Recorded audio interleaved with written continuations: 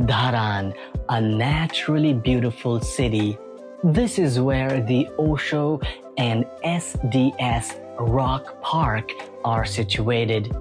Beside the Sardu River, at the foothills, surrounded by lush green forest, you'll find yourself at peace. It is a beautiful spot to reflect upon yourself and admire the true beauty of Mother Earth.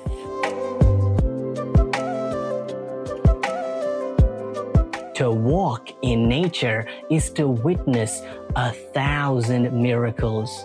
Each step reveals the wonders of the natural world, the intricate patterns of trees, the vibrant colors of earth and sky, and the melodious songs of birds serve as reminders of the beauty and complexity of life.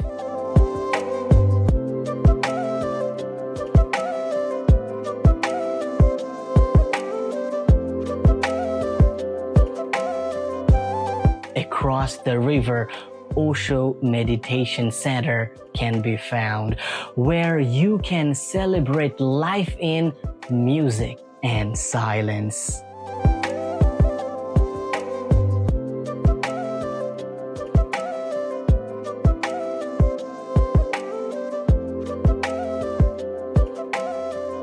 In many spiritual practices, gardens are seen as sacred spaces where one can commune with nature and experience a sense of unity with the universe.